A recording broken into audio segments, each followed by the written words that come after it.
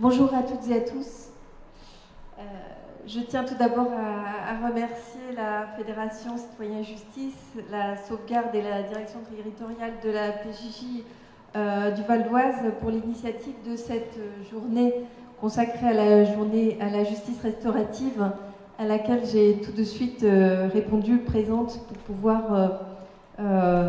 mettre cette justice restaurative et cette euh, mesure dans le cadre de la réforme pénale qui est portée par euh, la sous-direction que j'ai l'honneur de piloter. Nous sommes en effet à quelques jours de la semaine internationale sur la justice restaurative,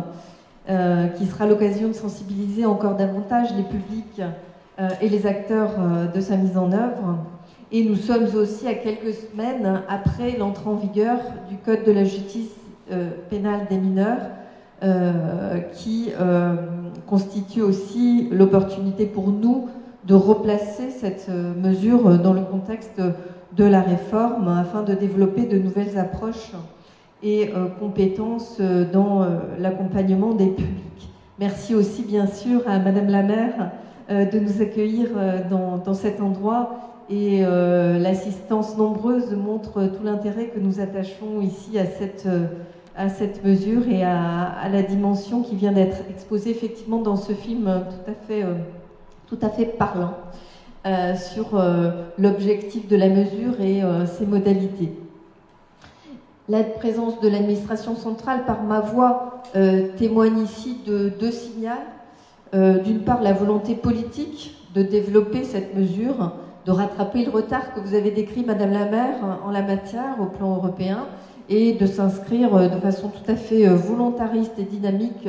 dans le développement de la justice restaurative, en particulier pour les mineurs, euh, puisque effectivement, si un retard est constaté pour les majeurs, c'est bien sûr aussi en tant qu'administration éducative qui portons une mission que nous souhaitons inscrire les mineurs dans ce dispositif et dans le développement de ce dispositif. Et le deuxième signal, c'est bien sûr apporter euh, l'expertise technique que Agathe Muriot apportera plus précisément euh, en tant qu'experte euh, du sujet pour pouvoir bien montrer les modalités de cette mesure, mais aussi la différence avec la médiation dans l'exposé qu'elle fera à la suite du mien. Donc, nous avons déjà parlé du CJPM, bien sûr, changement de paradigme et euh, une philosophie particulière qui est au cœur de cette réforme. Alors, c'est une réforme, on dit souvent, euh, qui a deux volets. Une réforme de procédure, d'une part, pour rendre la procédure pénale applicable aux mineurs à la fois plus lisible et plus efficace, et d'autre part, une refonte de l'action éducative euh, dans lequel s'inscrit la question des victimes, une procédure en effet plus réactive, plus respectueuse du temps éducatif et du temps des victimes, ainsi que des mesures qui sont inscrites dans ce code et qui ont pour but de favoriser la prise de conscience et la responsabilité du mineur, la responsabilisation du mineur, le cas échéant, en impliquant euh, directement la victime. Alors je développerai euh, brièvement euh, ces deux points. D'abord la, la, réforme de procédure et ensuite les mesures qui sont contenues dans le Code de la justice pénale des mineurs et qui euh, ont vocation à, à mieux associer euh, les victimes à la procédure concernant le mineur. Donc tout d'abord, s'agissant de la procédure, il s'agit euh, d'une procédure en deux temps, avec d'abord un jugement qui, était encadré dans les délais et plus rapide sur la culpabilité, et ensuite un jugement sur la sanction. Euh, le CJPM doit ici permettre de statuer donc plus rapidement sur les éventuels dommages et intérêts auxquels peut prétendre la victime et que pourra se présenter euh, dès euh, l'audience de culpabilité, donc pour une prise en compte à la fois plus rapide et aussi pour une prise de conscience plus rapide du mineur par rapport à la victime. C'est tout, tout, le changement qui est évoqué comme changement de paradigme, à savoir que précédemment, l'ordonnance de 45 était basée, toute la procédure de l'ordonnance de 45 était basée sur euh, une information préalable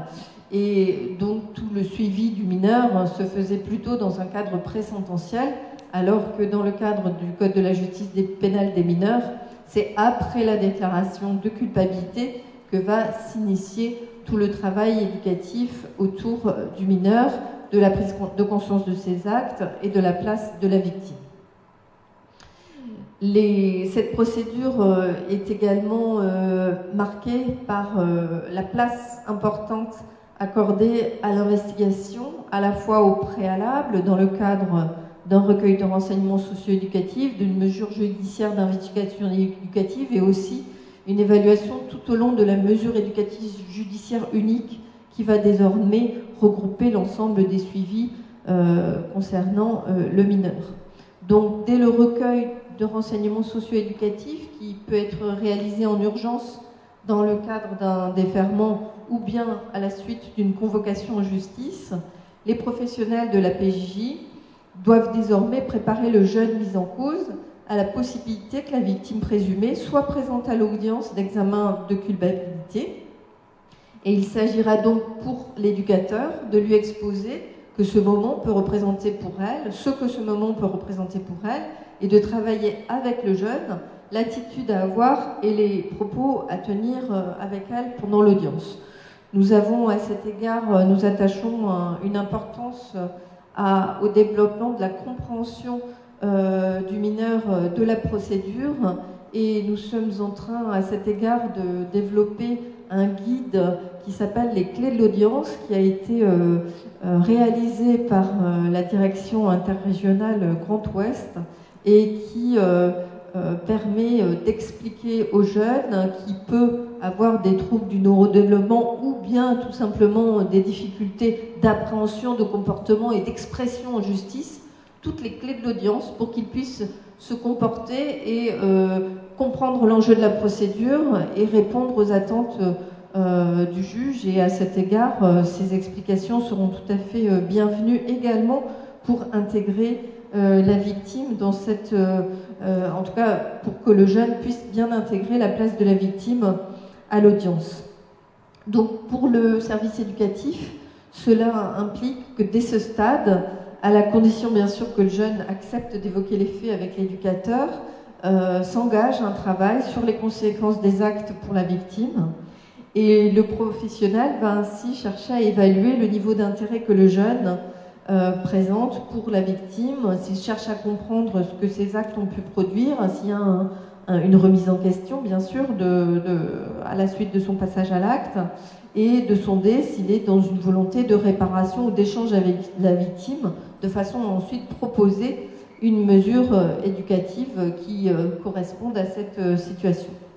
Ce travail éducatif de responsabilisation et de prise en compte de la victime se poursuit dans la période de mise à l'épreuve éducative, qui est la période de droit commun, donc, qui est mise en place par le CJPM, donc cette procédure en deux temps, appelée précédemment la césure, mais qui correspond à la distinction entre le jugement sur la culpabilité et le jugement sur la sanction. Donc pendant cette procédure de mise à l'épreuve éducative, euh, le euh, jeune pourra évoquer à la fois les faits la place de la victime avec l'éducateur, et notamment dans le cadre de la mesure éducative judiciaire provisoire qui euh, permet un travail plus poussé pour aider le mineur à prendre en compte la victime directe, les difficultés qu'elle peut rencontrer, ce qu'elle peut ressentir, comme c'est effectivement très bien monté, montré dans le euh, film qui vient de vous être présenté. Cela permettra aussi, à travers cette mesure qui euh, peut revêtir un caractère pluridisciplinaire, d'exprimer ses propres émotions, ses ressentis, ses inquiétudes ou ses remords, et de réfléchir à la possibilité de réparer l'acte posé ou les conséquences de celui-ci. C'est tout l'intérêt euh, de la justice restaurative hein, que de s'inscrire dans le cadre d'un suivi plus global du jeune et de pouvoir être proposé euh, au cours de la mesure. Euh, c'est pas une solution immédiate, c'est véritablement le fruit d'un travail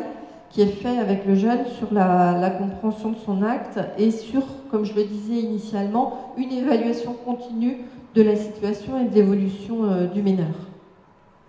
Lors de l'audience de prononcer de la sanction, donc euh, le deuxième temps de la procédure, le magistrat pourra tenir compte de l'implication du jeune dans cet axe éducatif, dans sa décision,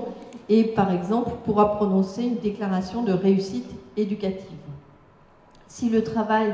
n'a pas pu aboutir avant l'audience de sanction, il pourra tout à fait se poursuivre ensuite dans le cadre de la mesure euh, éducative judiciaire prononcée dans le cadre d'une sanction.